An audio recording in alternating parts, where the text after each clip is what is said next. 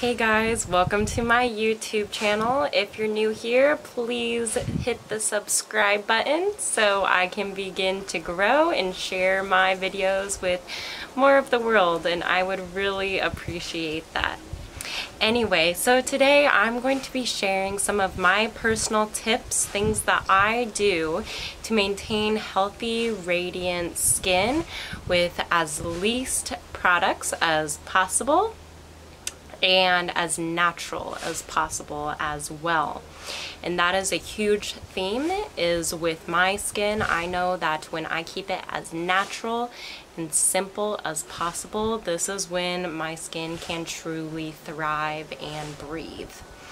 So getting right into it, it's important to draw awareness to the fact that the skin is the largest organ of the body and it is in direct contact with the external environment, with the external world. So having awareness of your emotions, your emotional body, and how you feel about your external world or your direct environment. How are you relating to others in your environment? Who are you around? What are you in contact with? What type of toxins may be in the air? How is your house? How cluttered is it? Or how clean is it? And how do you feel about it? Because um, your skin really reflects how you feel. Your body reflects how you feel. Even when you say you do have healthy skin on your face it's not going to look healthy. You're going to be able to see um, that there's some sort of blockage there if a person is not truly happy with their environment. So it is very important to have awareness of how you feel about your environment because this autumn this will reflect your body reflects your skin reflects how you are feeling and the whole point is that you want to feel good. So you want to feel empowered by the people that you're around. You want to feel that you can be completely yourself and authentic and you don't have to hide yourself. And being aware physically too you know your cluttered environment is that really serving you or is it energetically weighing you down toxins that might be in the environment around you if you're in a big city.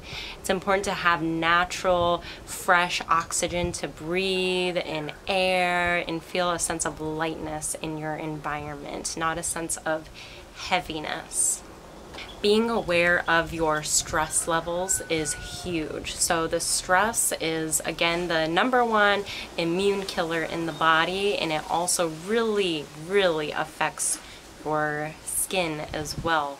So and sometimes life will present us with circumstances that um, there's not a lot we can do with the stress that we are being handed.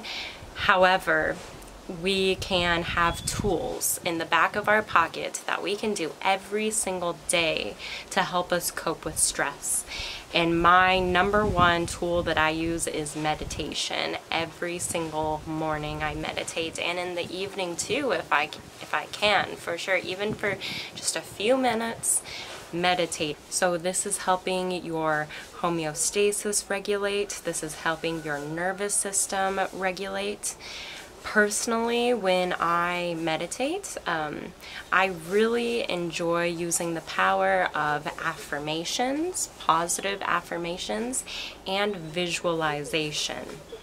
So for example I can have it in my mind, visualize exactly what I want my skin to look like, imagining it just glowing and radiating and radiating all of the love that I have within myself and allowing having that power to bring that out of my out of myself and using positive affirmations to change the brain circuits, um, the pathways of your brain circuits. This is known as neuroplasticity of the brain. You know, uh, deliberately thinking positive thoughts can actually change your brain. So as you are meditating and focusing on your breath, breath is huge as well. um, saying to yourself, I am beautiful with every inhale. And exhale, I release what is not serving me. Or inhale, I have healthy, radiant skin. Exhale, thank you skin for being so healthy and radiant. like literally thanking your body, thanking your skin for being so healthy and so radiant, even if that's not how you truly feel, but just saying it over and over as you are breathing and as you are saying that to yourself in your head when you're meditating and breathing how does that make you feel? Connect to the emotion as if you did have really healthy and radiant skin and you felt really good in your body. How does that make you actually feel about your skin? Feeling empowered, feeling like you want to show yourself to others and be present and let your radiant light shine, right? Diet, of course, is extremely important. So nourishing your body, nourishing your cells from the inside out, extremely important. Always starting your day with water before anything else. Always water first and quite a lot. So I carry this around with me and I fill this up multiple times a day. It's important to be hydrating throughout the whole day but I personally really love first thing in the morning breaking the fast you know with water and hydrating as much as possible. And also eating a diet that is full of very um, water dense foods like fruit. So I don't go a day without eating fruit. Um, you know, our bodies are different and there will be different things that feel better for you. But I feel so good basically starting my, my day with fruit like every single day. Um, whatever is in season in your area is going to be better. Um, but there are always staples, you know, like bananas and apples and organic as possible for sure, as water dense as possible, and making sure that it's ripe. So it's very important to make sure that your fruit is ripe and it's not like hard and dense. You want it to be soft. Um, some spots too. It doesn't have, of course, not like moldy or over spotted, but you want it to be ripe because that's when the enzymes will um, just nourish your body uh, the best. Um, so I usually start my day with fruit and sometimes I eat fruit throughout the whole day too, always incorporating a lots of just whole foods in general. So lots of greens, dark leafy greens are very nourishing for the skin. I love making big salads, always incorporating vegetables into my diet. So just as much fruit and veggies as possible in your diet because they are so nourishing and offer so many vitamins and the some of the best vitamins that you can get, vitamin C, E, and A for the skin is achieving it through your diet. That is very key as well. And um, incorporating healthy fats into your diet too is really important for the elasticity of your skin. So personally, I love avocados. I eat like an avocado every day. Um, coconuts, cooking with coconut oil, so like healthy, organic oils. Um, nuts and seeds. So just healthy, whole fats. Whatever resonates with you as far as your diet, but make sure it's um, limited processing, very limited processed sugar, and maybe limited caffeine as well. Sometimes caffeine can really um, offset your nervous system and cause an imbalance in your skin. Like a lot of people who drink lots of coffee, sometimes they will have skin issues because it's so dehydrating for the skin. So if you do need the caffeine, maybe just sticking with like one cup right when you wake up in the morning after you drink your water, of course. But, you know, trying to find the balance of your natural circadian rhythm which can be a challenge, but it's very rewarding once you actually achieve that. Herbs, I absolutely love using herbs to help my skin flourish.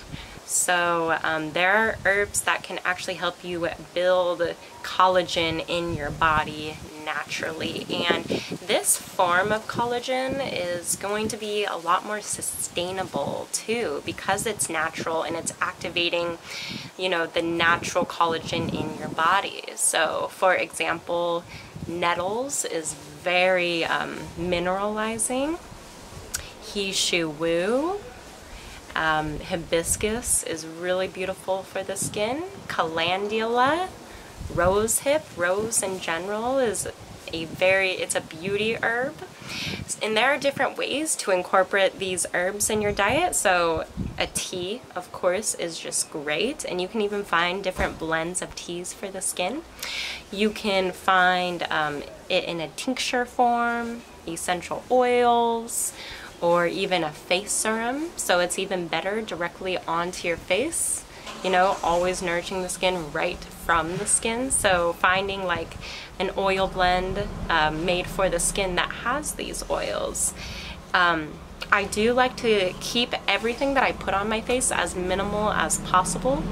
So I really enjoy using uh, just simple oil like argan and rosehip.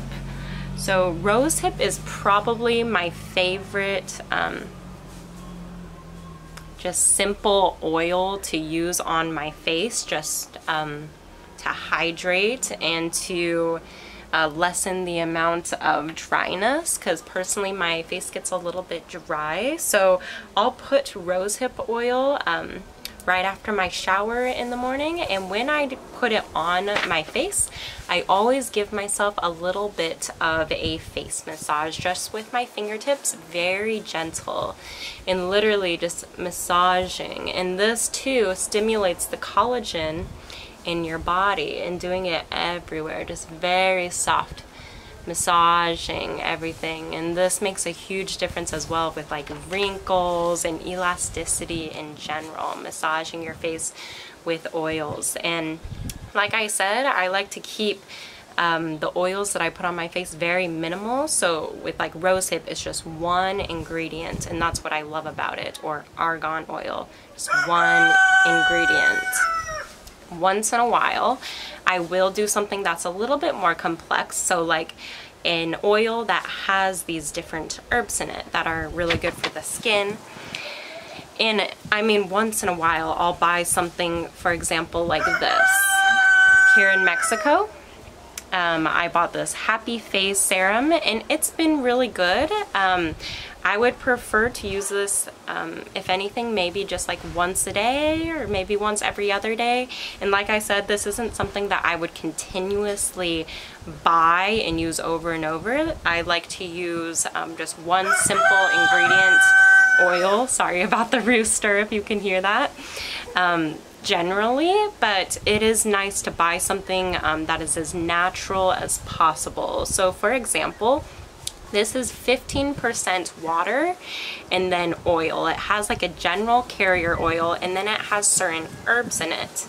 And this is basically in Spanish, but um, the ingredients are really natural. So there's aloe, which is very hydrating for the skin. There's rose, there's calendula, calendula, moringa, chia, and a few other things, patchouli, and the rest is in Spanish and I don't know them. but all, like I said, they're um, natural because they're herbs, you know?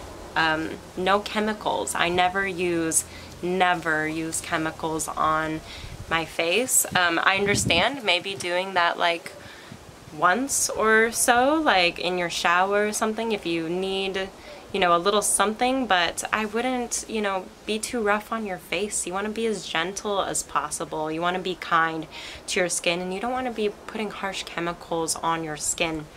Um, along with that, I stopped wearing foundation and heavy makeup years ago and my skin just totally um, it changed completely. So when I was younger and wearing lots of foundation and things like this I would break out all the time. And now I my skin never really breaks out. If anything I'll have like you know a few little pimples around um, my moon cycle.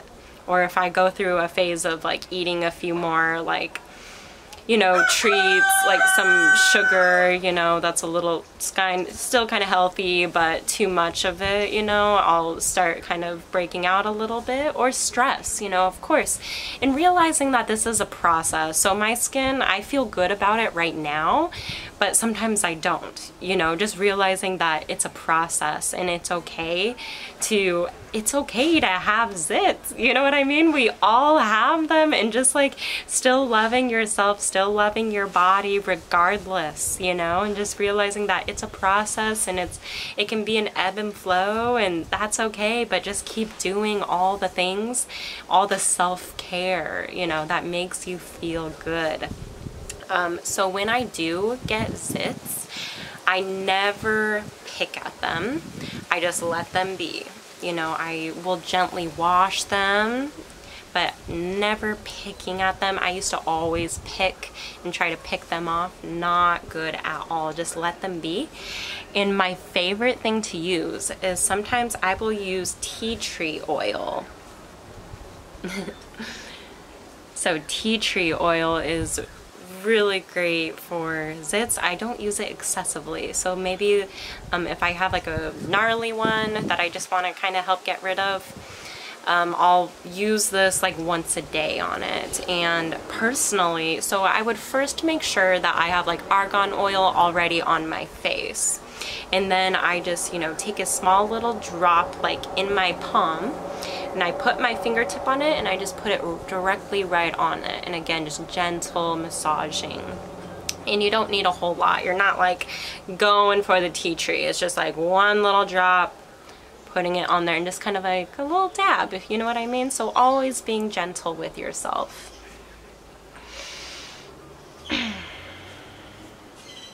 Um, but again, like I said, not wearing makeup has been a very transform transformative for my skin. Um, I think just letting your skin breathe is so important. So when I do wear makeup, sometimes I'll wear like a little bit of mascara or some sort of like natural eye um, color. I don't know like all the terms because I don't wear a whole lot of it. Um, but I, and you know, not everyone is going to resonate with that and that's okay. I think it's really important to do whatever makes you feel good about yourself, whatever makes you feel beautiful. And there is nothing wrong with wearing makeup. Makeup can be really fun and it can be a way to really enhance your beauty and it can be really great. But I do encourage you to just keep it um, as natural as possible, as minimal as possible for um, the skin purposes, but also just finding um, the beauty in your natural beauty. You know, I think a lot of women in our society um, are kind of scared to show their natural face. You know, they're afraid to show who they really are and that kind of goes with the whole societal mask that we put on um, for everyone else around us and not truly being authentic and not truly being ourselves, feeling like we have to like be someone else. So um, a huge part of self-love and um, glowing from the inside out is just realizing that you are perfect just as you are. Your body is so intelligent and beautiful. It knows exactly what it needs and you should honor yourself. You know, you should really um, learn to love yourself because you can't really love um, life. You know, you can't love others truly and have a very deep, um, meaningful relationship with your environment and with others if you don't first find that love within yourself. So as far as the whole body uh, and self-care with the skin, I love using a dry brush. So dry brushing before I get in the shower, just, you know, doing um, You always want to make sure the strokes are going towards your heart. Small little circles, and this is great for collagen boosting as well, and elasticity in the lymph and many other things in the body as well always being um, gentle so the type of like you know soap that I use always make sure that it's again natural maybe just like uh, some Dr. Bronner's that's a really great brand and um, I love doing self massage as well. So I'll get out of the shower, drive myself off, and I just like lather my body in coconut oil, some sort of one ingredient oil that is hydrating for the skin, and just kind of massaging my body, you know, massaging my feet, my legs, my wrists, just whatever is feeling good. Um, the massage is really, really important for not only your skin, but overall health. It's just really amazing. Um, if you're living in a warmer climate with lots of sunshine, I really like to use like a big sun hat to protect my face. Um, I think it's extremely important to be getting outside every single day. I notice a huge difference in my skin when I am getting sunlight. Um, compared to like a winter season when I'm indoors more and then to the summertime getting that vitamin D directly on your skin getting the sunlight the fresh air makes a huge difference. So even if it is like cold out or winter but bundling yourself up and just going for a walk if you can getting that fresh air is so it's so important for your skin. Um, so getting outside as much as possible of course most definitely uh, all in all, you guys, um, like I said, just keeping it as simple as possible with ingredients, focusing on self-love, focusing on regulating your stress and your thoughts. Your thought processes are so important. So if you're going through a little breakout, you know, that's okay. But speaking to yourself kindly, notice your thoughts, notice when you are criticizing yourself or you're telling yourself you look ugly when you look in a mirror or something like this. Don't let yourself do this. And you know what? Um, even going through a, if you can't, if you're just like nonstop in that self-critical mode, especially every time you see yourself, take some time away from the mirror. Just don't even look at it or, you know, as few times as possible. Um, I've done this before and it was actually extremely healing and I would do all of this. Try not to look in the mirror and instead visualize when I'm meditating how I want to look telling myself that I am beautiful, focusing on self-love and nourishing my body from the inside out with my diet and my herbs and um, the nature around me and just really focusing on loving myself. It's a huge, huge difference. So I really help, hope that this video was helpful for you.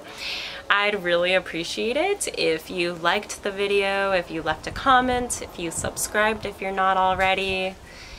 Thank you for watching if you did, and I hope you have a wonderful rest of your day. Namaste.